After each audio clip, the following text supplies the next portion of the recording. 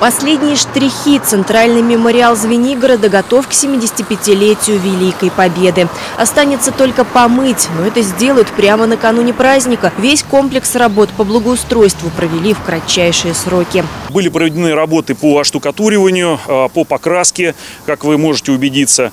А, значит, э, стена уже достаточно ветхая, то есть памятнику много лет, и поэтому пришлось над ней потрудиться серьезно. А, ну, в целом, ребята наши справились, э, думаю, достаточно достойно а, эту работу выполнили. Поэтому памятник на сегодняшний день находится в полной готовности.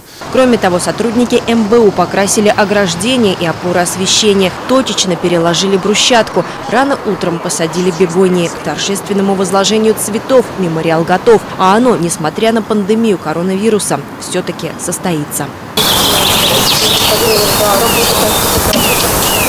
Сейчас здесь тихо и поют птицы, а в 41 году в здании неподалеку располагался полевой госпиталь. В братской могиле хоронили умерших от ран красноармейцев. Мы с вами можем видеть здесь э, оригинальную доску, которая была нацарапана гвоздем, а, как говорят старожилы, в окопах а, красноармейцами. Она посвящена э, двум разведчикам, Ягансону и Колесникову. 24 ноября 1941 года в составе группы 12 человек. Они выдвинулись на захват а, языка и в районе а, деревни Новая Александровка, которая находится неподалеку от Звенигорода, были окружены немцами и приняли бой.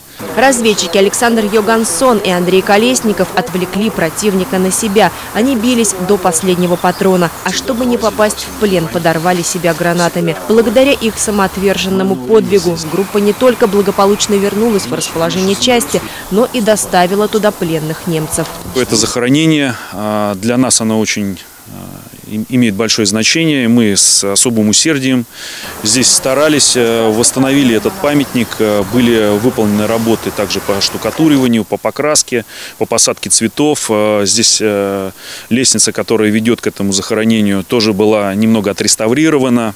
День Великой Победы мемориалы Звенигорода встретят в полном порядке.